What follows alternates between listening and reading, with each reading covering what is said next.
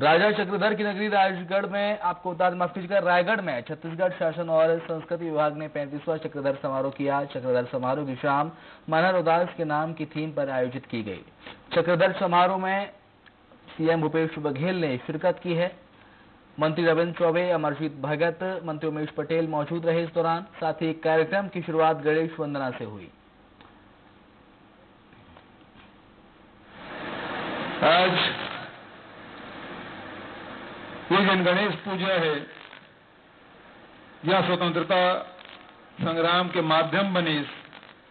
उन्हें आज़ादी के बाद सार्वजनिक जीवन में समरसता, रचनात्मकता और संस्कृति के उत्थान के माध्यम बन गए।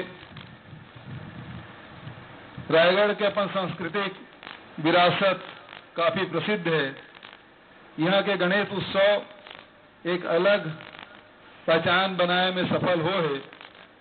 रायगढ़ के गणेश उत्सव देश दुनिया के में प्रसिद्ध करने करने में राजा चक्रधर सिंह जी के बहुत बड़े योगदान रहे महाराज चक्रधर सिंह जी,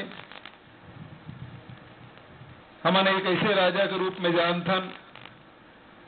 दुनिया में बहुत राजा महाराजा हो है।